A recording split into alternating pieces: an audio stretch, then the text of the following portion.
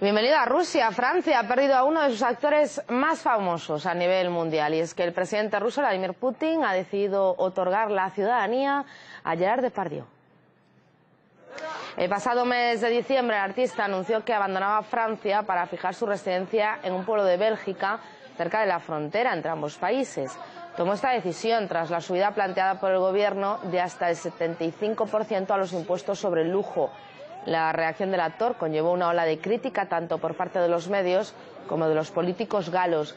En varias ocasiones el propio actor aseguró ser un ciudadano del mundo que ya había pagado casi 150.000 euros al Estado a lo largo de su carrera. Fue entonces cuando se iniciaron los rumores sobre la posible concesión de la ciudadanía rusa a Depardieu.